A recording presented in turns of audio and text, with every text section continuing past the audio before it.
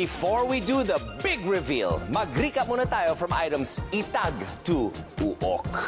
10, Itag, 9, balut, 8, lepag, 7, abwos, 6, salagubang, 5, bayawak, 4, dagang bukid, 3, kilawing musang, 2, uwak.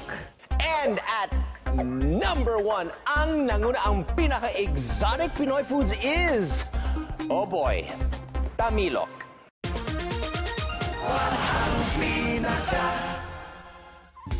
The tamilok, also called the shipworm or woodworm, is a famous delicacy in Palawan. It looks like a worm that's 6 to 8 inches long and is found inside rotting mangroves and tuod or driftwood. Ah, exotic nga because 'di ba sa ano lang siya sa Palawan, no? Parang parang ang galing 'di ba sa gitna ng mga puno, pero hindi siya worm. Pahaba lang siguro kasi mga sa loob ng puno, pahaba. So yung shape nung pag lumalaki siya, pahaba din. Exotic because nga in, parang indigenous siya doon. Imagine mo yung sintas mo ng sapatos na flat, ganun yung itsura niya, no? Parang medyo masipon na sintas. Nakatikim ka na ba ng niyog na tawag ay malauhog? Ganon daw ang texture. When I found out that it's not really a worm, I'm really willing to try it. Mukha talaga siyang uod na malaki. So at first, parang, ugh. Tapos buhay pa siya, gumagalaw pa. yung beak niya, matulis yun. Kinakain niya kasi yung kahoy na nabubulok. Tinanggal ko yung beak niya kasi matigas yun eh. Tapos kinain ko siya. Yung taste niya actually, at first, natikma ko is nabubulok na kahoy. Kasi hindi ko siya nalinis eh. Rekta ko siya kinain eh. Although the snot-like tamilok looks like a worm, it's actually a mollusk.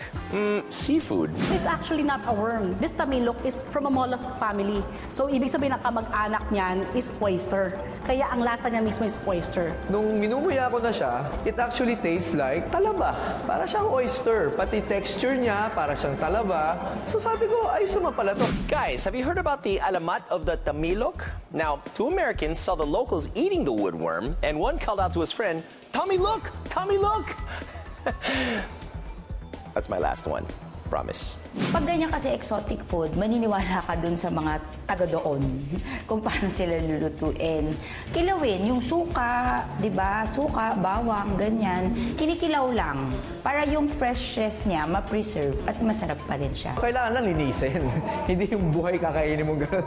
Medyo linisin mo kasi yung, yung kinain nila, nabubulok ng kahoy, nasa katawan pa rin nila. Medyo brown siya eh. So, tas di pa, parang kung titingnan mo, hindi maganda eh. Parang gems na hindi mo maintindihan, di ba? Parang, pero pag kinain mo siya, masarap. it will be a sin to cook tamilok.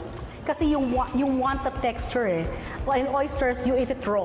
You eat it as fresh as possible. So, some people will just put calamansi or vinegar, like um, how you would deal with an oyster nga, yung kamag-anak do. So, you will preserve all the juices and natural flavors and to really savor the tamilok.